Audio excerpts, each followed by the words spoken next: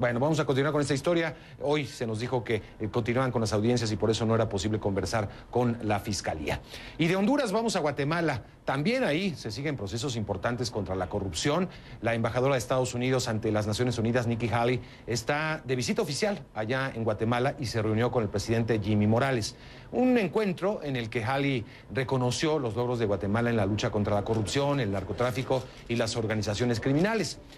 El presidente Morales y Halley también abordaron la crisis que vive Venezuela. Halley se refirió a Nicolás Maduro como un dictador abusivo y aseguró que trabajará en Guatemala para eh, proteger los derechos de los venezolanos.